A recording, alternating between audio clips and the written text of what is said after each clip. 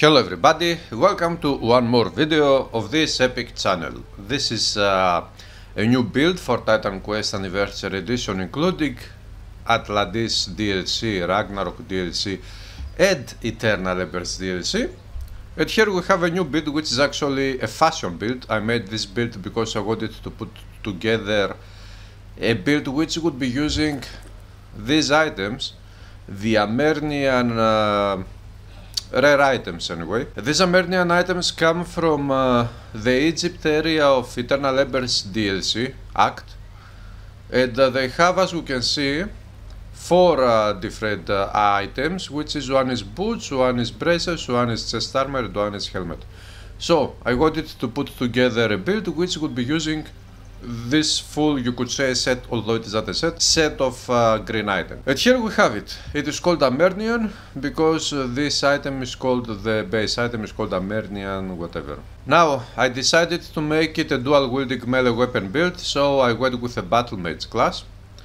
And uh, for attribute points, I haven't spent many points, I have spent some points on health but no points on energy, no points on intelligence, I have spent many points on strength and even more points on dexterity. And because we need dexterity, you know, to increase also defensive and offensive abilities. With uh, the skills we have, Warfare Mastery, Earth Mastery, we have maxed out the weapon training, the dual wield, and uh, the whole tree, skill tree of the dual wield.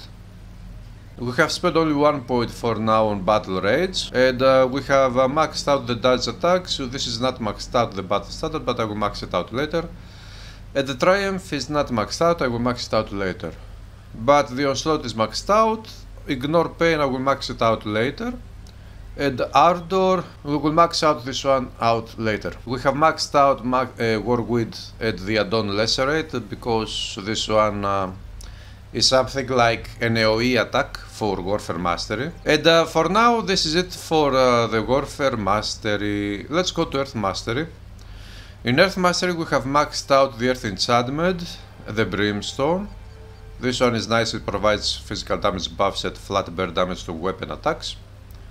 And uh, the stone skin which is not maxed out but I will probably max it out later. We have maxed out the volatility, very powerful skill, when it triggers we deal lots of damage. I have spent a couple of points, one point on hit shield. I think only one point as far as I remember. And uh, now we have the volcanic orb maxed out at on plus 4. The conflagration maxed out at on plus 4. And the fragmentation maxed out at on plus 4. So as we can see we don't have many skills from Earth Mastery. Later I could uh, activate the eruption or even better the meteor rain. We will see. Now, for the items. We have the artifact strength of Pangu, which comes uh, with Eternal Embers DLC. We have the chest armor Veteran Amarnian Robe of Impetus. The Veteran's prefix is amazing. We have the Hallowed Amarnian Hood of Power. Hallowed is also amazing as a prefix. The Impenetrable Amarnian Braces of Aten. The Aten suffix is very good because it provides also flat bear damage and it makes our uh, weapon attacks even uh, more powerful. And of course the Hail Amarnian Saddles of Might, lots of strength buffs.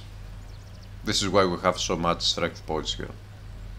Which is good to have because strength increases physical damage and the weapons also deal physical damage. Here we have the Persephone string, I wanted this one for the resistances that it provides, that a little bit of total damage, defensive ability and energy cost reduction is uh, very important here.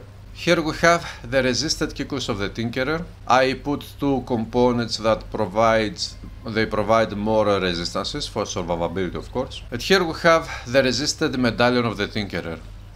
One more uh, Amulet of the Tinkerer where I put two components for survivability. I didn't have any legendary or epic amulets that provide more resistances than this one so I equipped this one.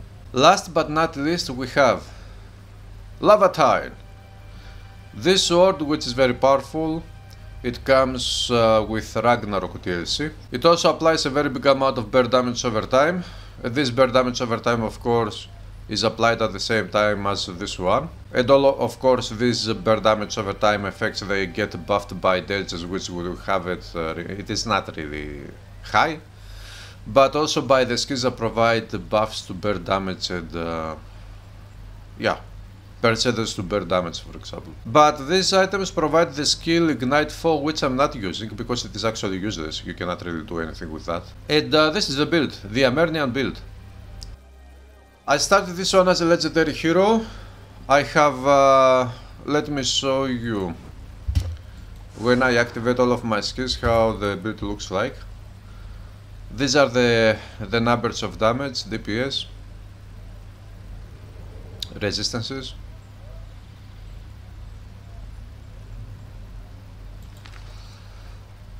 Secondary resistances.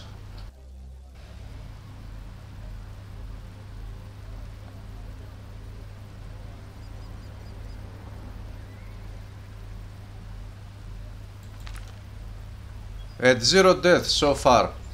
So in Legendary as a Legendary Hero I started playing this character in Act 1 and uh, so far up to Athens I have zero deaths. I fought Hydra special boss, I defeated that boss without getting killed. At least uh, I was fast enough to click the escape button in my first attempt because in my first attempt I, got, I did a mistake and the the Hydra boss almost killed me, but in the second one it was easy. Because I didn't make that mistake. Let's go now, kill something for some gameplay.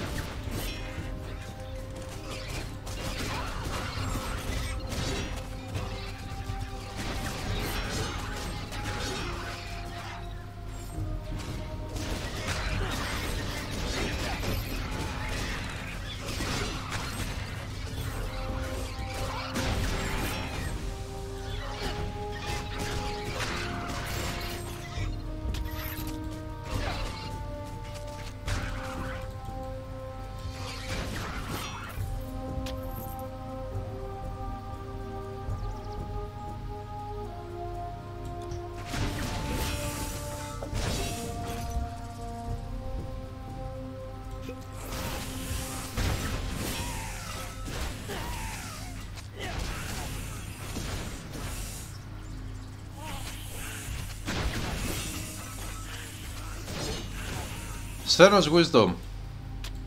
Nice item, but useless to me.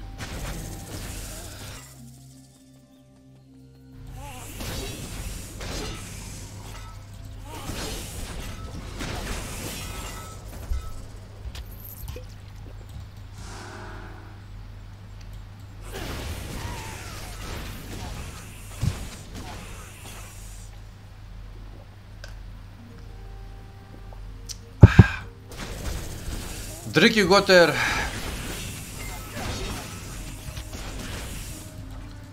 I don't know about you guys, but now while I'm recording this video we have a heat wave and things are very bad.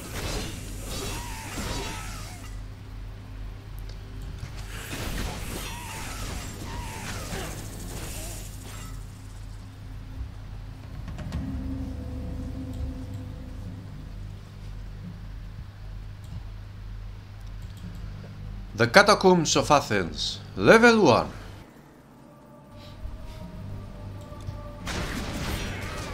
Maybe this catacomb should go farm a little bit to level up. They shouldn't stay at level 1.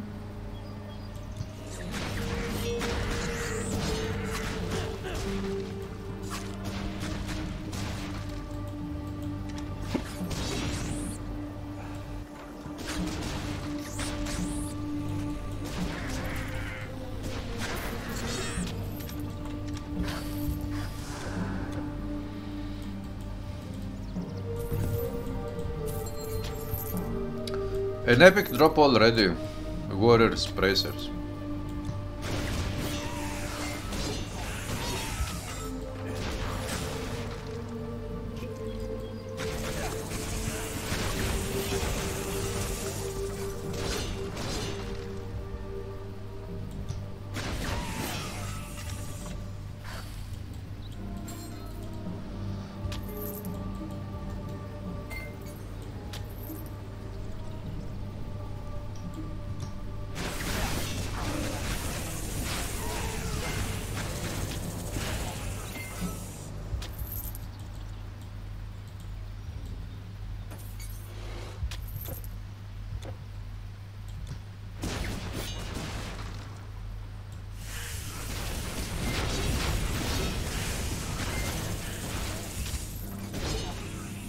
Okay, a sepulchre. Nothing good drops.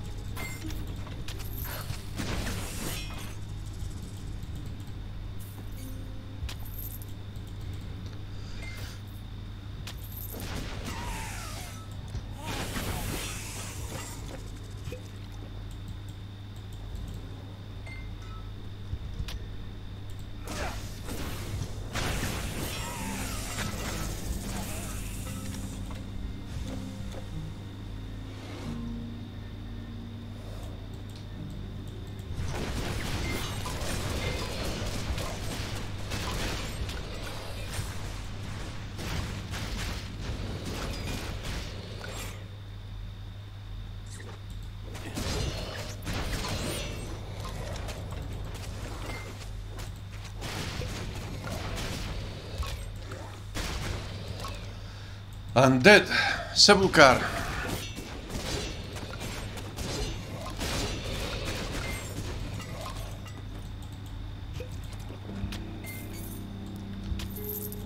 Okay, gold is good to pick up at the potions, but those drops are quite useless, I would say, because we always uh, look out for, uh, you know, good items to drop not potions.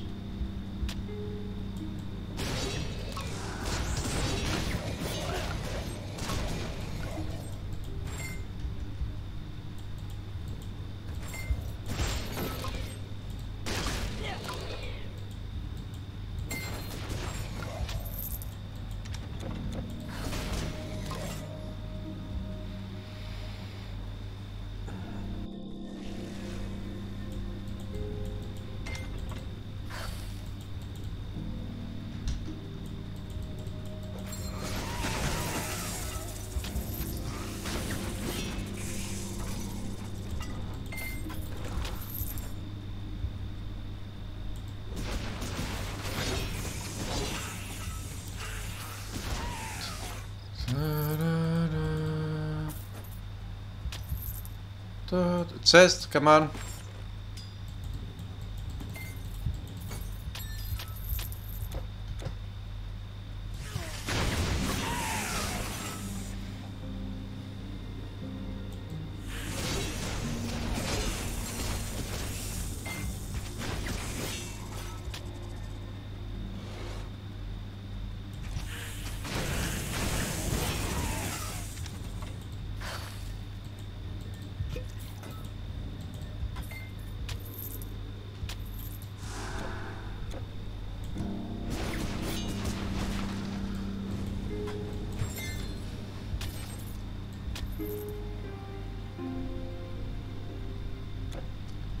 Let's go down, we will reach the boss of this area and we will see what we can do against that boss.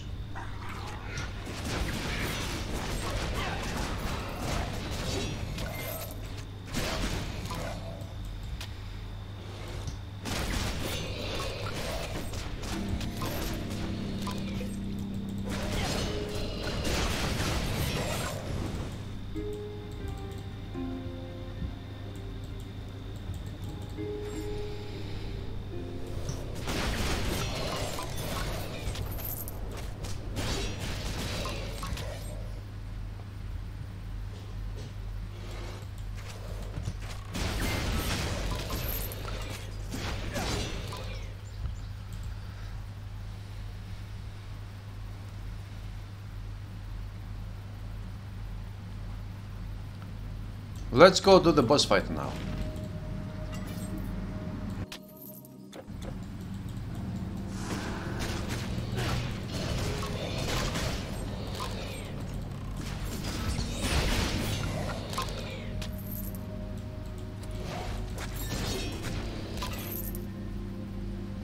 There are red sepulchers here, open up, but some of these are trapped and I almost got killed. I had to be careful.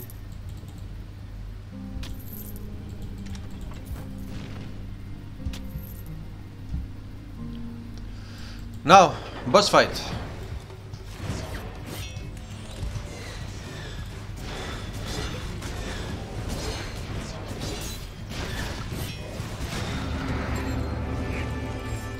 What boss fight? Mysterious, the order of Prometheus.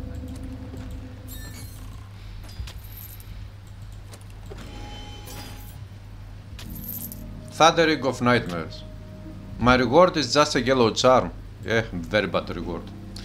So, guys, this is the gameplay. It is very simple. You activate this skill, you activate this one whenever it wears off, and then during combat you use this one to run uh, faster and also to hit multiple enemies. And you use this one to stun enemies and hit multiple enemies and you attack with your um, dual wielding skill tree automatically. So, thanks for watching this video. If you like what you see, hit the like button, subscribe for more Titan Quest content. I'll be back very soon with more content. Have a great day. And stay out of the sun.